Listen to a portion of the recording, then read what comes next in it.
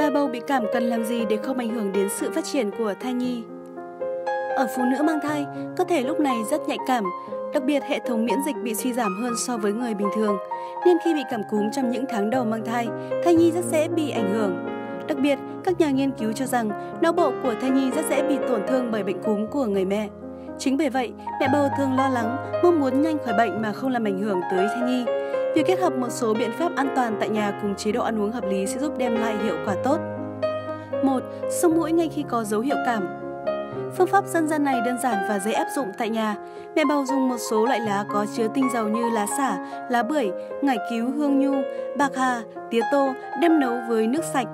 Tiếp theo, mở hé nắp nồi nước sông, ghé mặt hít hơi nóng bay lên. Nó sẽ giúp mẹ bầu bớt nghẹt mũi. 2. Nhỏ mũi bằng nước muối sinh lý. Nước muối sinh lý NaCl 0,9% có tác dụng vệ sinh, khai thông đường mũi đầy chất nhầy, virus và vi khuẩn ra khỏi mũi. Vì thế, mẹ nên sử dụng dung dịch này để rửa và vệ sinh mũi hàng ngày nếu bị cảm. 3. Ngủ kê cao gối Việc ngủ đủ giấc cũng góp phần giúp bà bầu hồi phục sức khỏe nhanh chóng. Trong khi ngủ, mẹ nên kê cao phần đầu ở vị trí cảm thấy thoải mái nhất. Nó sẽ giúp giảm nghẹt mũi và đờm không bị trào ngược. Trong trường hợp áp dụng những cách trên đây mà bệnh không có dấu hiệu thuyên giảm, thì mẹ bầu cần đến bác sĩ để khám và điều trị kịp thời, tránh những biến chứng đáng tiếc có thể xảy ra. 4. Ăn các món có tỏi Chất kháng sinh có trong tỏi sẽ giúp chống viêm nhiễm và các vi khuẩn, virus gây cúm. Nếu không muốn ăn sống tỏi thì bà bầu nên ăn thêm tỏi vào các món ăn như rau xào, tôm diêm. Nếu ngại hơi thở không được thơm tho sau khi ăn tỏi thì chị em có thể kết hợp tráng miệng với những loại trái cây giàu vitamin C để bổ sung chất dinh dưỡng cũng như dễ tiêu hóa. 5. Ăn các loại quả giàu vitamin C.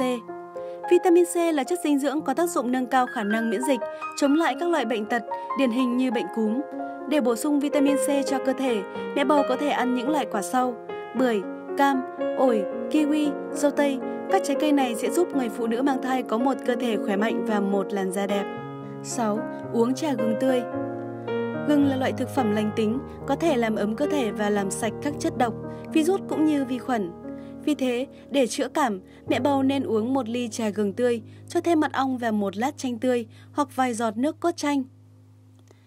Trong quá trình mang thai, người mẹ luôn cần theo dõi sức khỏe của mình và thai nhi qua việc khám thai đầy đủ và có chế độ dinh dưỡng sinh hoạt điều độ.